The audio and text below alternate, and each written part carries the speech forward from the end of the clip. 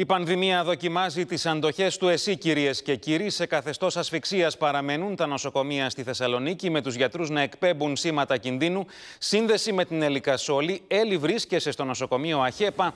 Ποια είναι η κατάσταση; Βρίσκομαι στο νοσοκομείο Εχέπα, το οποίο ξεκίνησε ακόμη μια δύσκολη εφημερία, με τους γιατρούς να μας λένε ότι κάθε εφημερία πια είναι χειρότερη από την προηγούμενη. Για να καταλάβετε, εδώ πέρα όλες οι κλίνες στη μονάδα εντατικής θεραπείας είναι ήδη γεμάτες.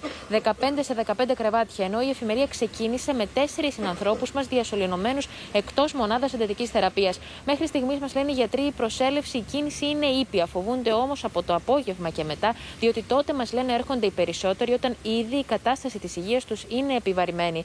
Κλείνοντας, να σας πω πως ε, μια δύσκολη εφημερία έκλεισε και στο νοσοκομείο Παπα-Νικολάου, που εκεί για πρώτη φορά από την αρχή της πανδημίας χρειάστηκε σύμφωνα με γιατρούς να τοποθετηθούν ράντζα. Πέντε ράντζα λοιπόν στην απλή νοσηλεία.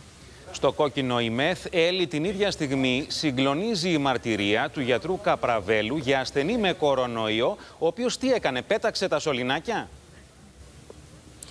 Σύμφωνα λοιπόν με τον κύριο Καπραβέλο, μιλώντας στον ε, Sky, ένας ασθενής εχθές, ενώ χρειαζόταν νοσηλεία, χρειαζόταν φροντίδα, χρειαζόταν θεραπεία, πέταξε τα σωληνάκια λοιπόν, ε, ενώ έπρεπε να έχει οξυγόνο, συνεχή παροχή οξυγόνου και βγήκε έξω από το νοσοκομείο τρέχοντας. Τον βρήκαν λοιπόν στα παγκάκια του νοσοκομείου Παπα-Νικολάου, τον γύρισαν γρήγορα πίσω στο δωμάτιο και όπως είπε χαρακτηριστικό ο κύριος Καπραβέλος, πιθανότητα να είχε ακούσει κάποιες λάθος οδηγίες και κάποιους ανθρώπους οι οποίοι δεν του έδειχναν το σωστό δρόμο. Απίστευτο, Έλληκα, όλοι σε ευχαριστούμε.